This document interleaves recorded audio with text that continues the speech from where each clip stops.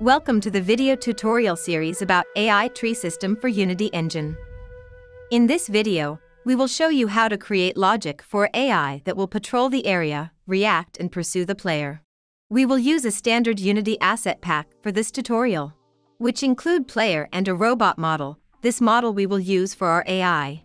Let's create a behavior tree in which the AI logic will be located.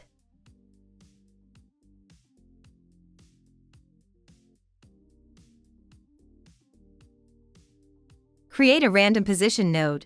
It will be responsible for getting a point around the player at a certain radius. To save the received value, we need to create a blackboard for our tree, where the variables with which it will work. Let's create a vector key where the value of the random position node will be recorded. Call it position. Now we need to link blackboard and behavior tree. For this we need to select the behavior tree and pass the created blackboard there. Next, select random position and select our created key.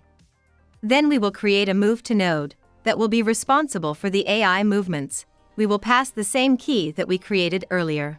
In order for the AI to take a short pause before moving, add the wait node.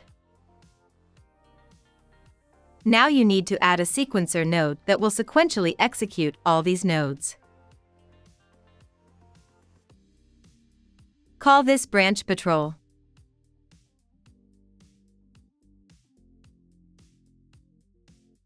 Let's check the result. To run this tree you need to add the behavior runner component to the AI object on the scene and pass the created tree there.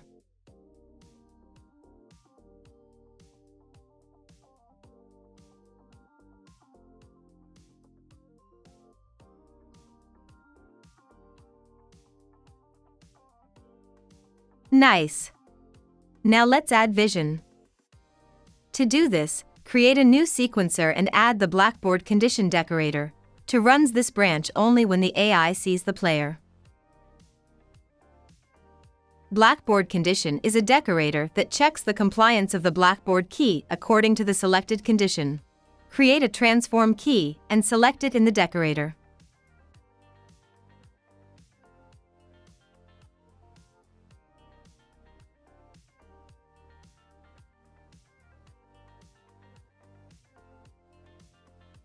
Let's add a node to move to target.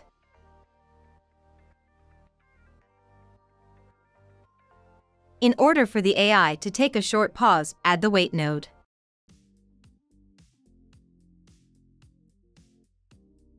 If the target key is empty, this branch will be ignored. We will link these branches with a selector node that will select the available branch. Now we can switch between these different branches by changing the target using the perception system. Choose our AI and add the AI Perception Blackboard component. Add a new sight perception config and configure it. Change the maximum distance and viewing radius.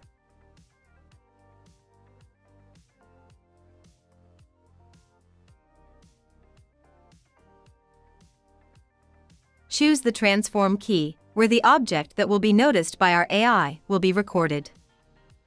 In order for the player to become visible to the AI, we need to add the AI perception source component to the player.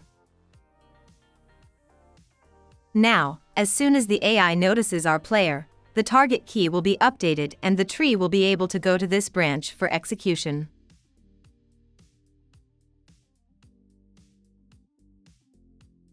Great. Now the AI reacts to the player. Let's add a detection signal. For this we will use the node detection signal. We will add it before the beginning of each branch so that the player has the opportunity to hide from the field of view of AI.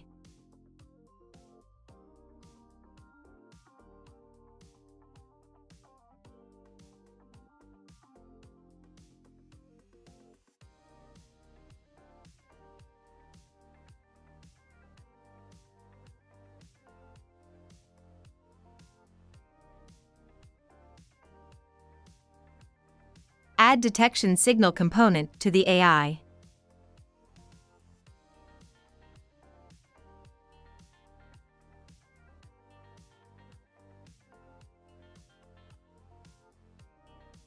Let's check it.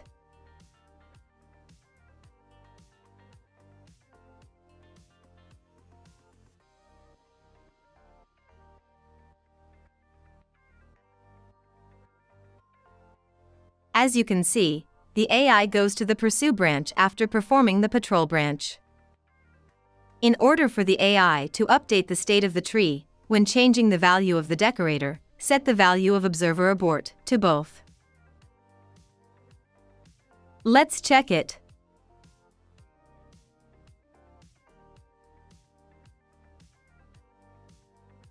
Good job. In a couple of minutes, we created an AI behavior on the Unity engine using AI Tree. Thanks for watching. Definitely get subscribed to see more videos about game development.